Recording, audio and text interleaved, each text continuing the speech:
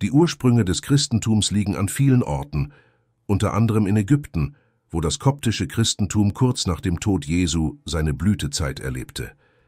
Ägypten, das Land der Pyramiden, ist Schauplatz vieler der bekanntesten Geschichten aus dem Alten Testament.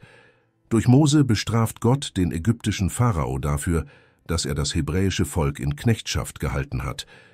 Der junge Josef wird von seinen Brüdern verraten und leidet in der Sklaverei in Ägypten, bevor er zum Wesir aufsteigt, der an Macht nur dem Pharao an zweiter Stelle steht. Wenn man sich dem Neuen Testament zuwendet, denken viele Menschen an die Länder Israel und Palästina, die Orte, an denen Jesus geboren wurde und predigte. Ägypten ist jedoch auch ein zentraler Ort in seiner Geschichte, ein sicherer Hafen für die heilige Familie. Im Matthäusevangelium fliehen Maria, Josef und das Jesuskind aus Jerusalem und König Herodes, der das Kind töten wollte. Die Familie bleibt in Ägypten, bis die Gefahr vorüber ist. Sicherheit in Ägypten. In diesem Detail einer koptischen Handschrift aus dem 13. Jahrhundert ist die Flucht nach Ägypten oben rechts dargestellt. Diese Episode ist für Kopten von besonderer Bedeutung, die die Orte in Ägypten verehren, an denen ihrer Meinung nach die heilige Familie umherwanderte. Zusätzlich zu seiner wichtigen Stellung in der Heiligen Schrift war Ägypten in der frühen Blütezeit des Christentums ein fruchtbarer Garten. Ab dem ersten Jahrhundert nach Christus, als der Glaube Wurzeln schlug und zu wachsen begann, wurde Ägypten zu einem wichtigen religiösen Zentrum, da Theologen und Gelehrte dorthin strömten. Das ägyptische Christentum entwickelte seinen eigenen unverwechselbaren Charakter, der von den Worten, der Kultur und der Geschichte des alten Ägypten geprägt war. Dieser Zweig des Christentums würde zur koptisch-orthodoxen Kirche werden, und ihre Anhänger würden als koptische Christen oder einfacher als Kopten bekannt sein. Der Name Kopte hat eine lange Reise hinter sich. Es kommt von der europäischen Aussprache des arabischen Wortes Kipt, das vom griechischen Namen für Ägypten, Aegyptos, abgeleitet ist. Dies wiederum leitet sich von HWT Kapta ab, einem Tempel in Memphis, der Ptah gewidmet ist. Auch die koptische Sprache entstand aus einer Mischung von Kulturen, aus ägyptischen Wörtern, die in griechischer Schrift geschrieben waren. Im Laufe der Jahrhunderte entwickelten sich mehrere Dialekte, und es wurden viele wichtige christliche Texte in koptischer Sprache entdeckt. Ut. Eine koptische Stele aus einem Grab aus dem 5. Jahrhundert in der Oase Al-Fayoum, Koptisches Museum, Kairo. Bevor sich das Christentum etablierte, reichten die Wurzeln der bestehenden Religion Ägyptens Jahrtausende zurück. Nach dem Ende des goldenen Zeitalters von Ramses II. und seinen Nachfolgern erlebte Ägypten Invasionen durch Libyer, Nubier, Assyrer, Perser, Griechen und Römer. Dennoch erwies sich die alte Religion Ägyptens als bemerkenswert langlebig, was teilweise auf ihre Fähigkeit zurückzuführen war, andere Einflüsse zu absorbieren. Mit wenigen Ausnahmen übernahmen die Eindringlinge den ehrwürdigen Glauben oder passten ihn an. Die Nubier erklärten dem ägyptischen Gott Amun ihre Treue. In ihrer Bewunderung für ägyptische Götter schuf die ptolemäische Dynastie, gegründet von Ptolemaios, dem General Alexanders des Großen, im Jahr 305 v. Chr., hybride griechisch-ägyptische Götter wie Serapis. Die ägyptischen Christen wurden an die Pracht ihrer alten Religionen erinnert, beispielsweise an die Säulenhalle des Hathor-Tempels in Dandara. Im 5. Jahrhundert wurde in der Nähe eine koptische Basilika errichtet. Die ersten Spuren des Christentums finden sich in der Flucht nach Ägypten. Mehrere Orte im Land werden mit den Wanderungen der heiligen Familie in Verbindung gebracht, darunter das Kloster Al-Muharrak im Niltal in Zentralägypten. Die Mönche glauben, dass die Marienkirche des Klosters dort errichtet wurde, wo die Familie während ihres Ägyptenaufenthalts etwas mehr als sechs Monate lang Zuflucht suchte. Eine weitere heilige Stätte befindet sich in El Mataria, einem Vorort von Kairo, in der Nähe der antiken Stadt Heliopolis. Die Überlieferung besagt, dass ein Berg Ahorn, der als Baum der Jungfrau Maria berühmt wurde, der Familie während ihrer Reise Schatten spendete. Der koptischen Tradition zufolge wurde die christliche Kirche in Ägypten Mitte des ersten Jahrhunderts nach Christus in Alexandria vom heiligen Markus gegründet. Markus, der Autor des zweiten Evangeliums im Neuen Testament, wurde Alexandrias erster Bischof und begann die Lehren Jesu zu verbreiten. Historische Quellen stützen diese Behauptung. Der griechische Historiker Eusebius schrieb um 310 in seiner Kirchengeschichte Man sagt, dass dieser Markus der Erste war, der nach Ägypten aufbrach, um das Evangelium zu verkünden, das er geschrieben hatte und der Erste, der in Alexandria Kirchen gründete. Andere über Markus zusammengestellte Geschichten erinnern an seine Lehren sowie an die ihm zugeschriebenen Wunder. Bei seiner Ankunft in Alexandria soll Markus auf wundersame Weise die Hand des Schusters Anianus geheilt haben. In Alexandria heilt Markus links-rechts einen Schuster, Anianus sitzend, der konvertiert und später die Nachfolge von Markus als Oberhaupt der ägyptischen Kirche antritt. Gemälde von G. Mansueti, 16. Jahrhundert. Galerie dell'Accademia, Venedig, Italien.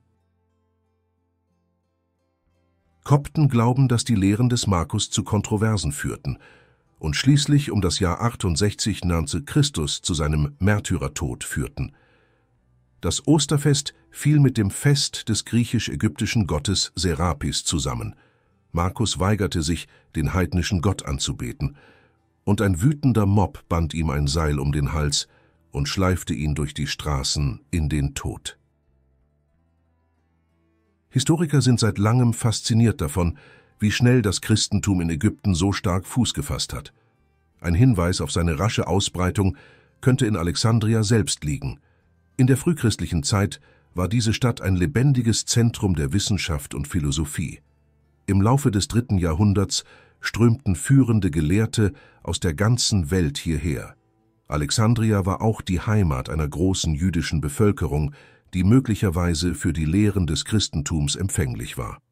In Apostelgeschichte 1824-25 wird ein Jude namens Apollos, ein Eingeborener aus Alexandria, erwähnt, der sich in den heiligen Schriften gut auskennt, der mit brennendem Enthusiasmus redete und genau die Dinge lehrte, die Jesus betrafen, was einen Einblick in die Geschichte bietet wachsende christliche Präsenz in der Stadt. Die letzte Stufe in der Entwicklung der altägyptischen Sprache, das Koptische, entstand im zweiten Jahrhundert nach Christus und übernahm Buchstaben aus dem griechischen Alphabet sowie sieben Zeichen aus dem Demotischen, einer vereinfachten Form der Hieroglyphen. Abgebildet ist ein koptischer Kodex aus dem zehnten Jahrhundert mit einer Inschrift über den Erzengel Raphael. Louvre Museum, Paris. Alexandria war wie Jerusalem, Antiochia und Rom ein führendes Zentrum des frühchristlichen Denkens. Die Schule von Alexandria war die erste christliche Hochschule und wurde in der Mitte des zweiten Jahrhunderts nach Christus gegründet. Zu ihren Anführern gehörte der heilige Clemens von Alexandria, der im Jahr 150 Kritis als Heide geboren wurde, zum Christentum konvertierte und zu einem führenden spirituellen Denker wurde, Lehrer und Autor. Einer von Clemens Schülern war Origenes, dessen Traktat gegen Celsus aus dem Jahr 248 Gressen heidnische Angriffe auf die christliche Lehre zurückwies und sich als entscheidender Text für die Verteidigung des neuen Glaubens weit über Ägypten hinaus erwies. Ein weiterer bekannter alexandrinischer Denker war Valentinus, dessen Interpretation des Christentums von den Gläubigen verlangte, göttliches Wissen anzunehmen, auf Griechisch Gnosis. Der Gnostizismus, wie er genannt wurde, drang in frühchristliche Gemeinschaften in Ägypten ein, wo seine Evangelien, darunter das geheimnisvolle Judas-Evangelium, offenbar weit verbreitet waren. In einer Zeit, in der Heidentum und Christentum nebeneinander existierten, kam es zu einer gegenseitigen Befruchtung zwischen beiden. Das altägyptische Symbol für Leben, das Ankh, eine Kreuzform mit einer ovalen Schleife, beeinflusste die Entwicklung des Kreuzes, das als Crux ansata bekannt ist und in der koptischen Symbolik häufig verwendet wird. Dennoch entwickelte sich das Christentum im vierten Jahrhundert weiter. In den frühen 300er Jahren gab es in der Stadt Oxyrhynchus zwölf heidnische Tempel und zwei Kirchen. Ein Jahrhundert später war die Situation umgekehrt. Ägypten war auch Schauplatz einer weiteren wichtigen Entwicklung des Christentums, des Mönchtums, einer Praxis, die in den Wüsten Ägyptens entstand. Heilige Einsiedler ahmten die Wanderungen Jesu in der Wüste nach und mussten extreme Entbehrungen auf sich nehmen, um ihren Glauben zu vertiefen. Der berühmteste Wüstenvater war der heilige Antonius der Große. Seine Visionen, in denen ihm der Teufel in Gestalt eines frommen Gläubigen oder einer schönen Frau erschien, hatten tiefgreifende Auswirkungen auf die christlichen Vorstellungen vom Teufel. Zwischen dem ersten und vierten Jahrhundert löste das römische Reich eine Reihe von Verfolgungen gegen Christen aus. Unter Kaiser Diokletian wurden im Jahr 303 die brutalsten Maßnahmen ergriffen, die den Tod Hunderttausender Gläubiger zur Folge hatten. Der Überlieferung nach war ein Opfer in dieser Zeit, die Kopten das Zeitalter der Märtyrer nennen, die heilige Katharina von Alexandria. Als Tochter des Gouverneurs von Alexandria forderte sie Kaiser Maxentius heraus, der sie foltern ließ. Als er ihre Hinrichtung anordnete, zerbrach das Stachelrad, auf dem sie getötet werden sollte, als sie es berührte. Nach dem Edikt von Mailand im Jahr 313 hörten die Verfolgungen auf und Christen konnten ihren Gottesdienst frei genießen. Im Jahr 380 wurde das Christentum, basierend auf den auf dem Konzil von Nikäa festgelegten Grundsätzen, zum offiziellen Glauben des Reiches. Die Tunika eines koptischen Kindes, Datum unbekannt, Nationalmuseum Ravenna, Italien. Theologische Differenzen belasteten die frühe Kirche, und die ägyptischen Christen befanden sich an der Spitze dieser Konflikte. Im fünften Jahrhundert begannen Kirchenführer darüber zu diskutieren, ob Jesus sowohl sterblich als auch göttlich sein könne.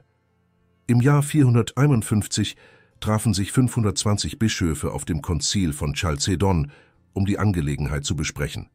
Die Debatte spaltete die Kirche in Fraktionen und löste eine Kluft aus, die die Kopten von anderen Zweigen des christlichen Glaubens trennte. Auf diesem Fresko, das eine bemalte Nische im Barwit-Kloster südlich von Kairo schmückt, hält die thronende Jungfrau Jesus auf ihrem Schoß und ist von den Aposteln umgeben. Das von einem heiligen Einsiedler um 385 nach Christus gegründete Kloster verfiel im 9. Jahrhundert. Seine ikonischen, lebendigen Kunstwerke sind jedoch erhalten geblieben. In den nächsten zwei Jahrhunderten blühte die ägyptische Kirche auf und zog immer mehr Anhänger an. Der verehrte Klosterreformer St. Chenute aus dem vierten und fünften Jahrhundert baute im monumentalen Weißen Kloster im heutigen Sohag am Westufer des Nils ein bleibendes Erbe der Gelehrsamkeit und Frömmigkeit auf. Seine riesige Bibliothek koptischer Texte war das Wunder der christlichen Welt. Zu seiner Blütezeit lebten dort möglicherweise bis zu 4000 Mönche und Nonnen.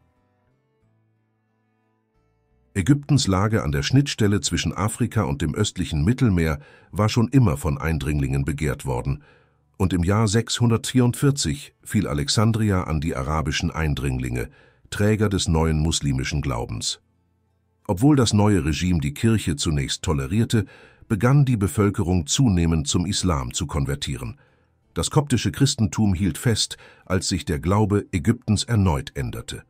Heutzutage praktizieren schätzungsweise etwa 10 Prozent der Ägypter den koptischen Glauben, der seit 2012 von Papst Tawadros II. angeführt wird, dem jüngsten in einer ununterbrochenen Linie von Patriarchen, die vermutlich bis zum Evangelisten Markus zurückreicht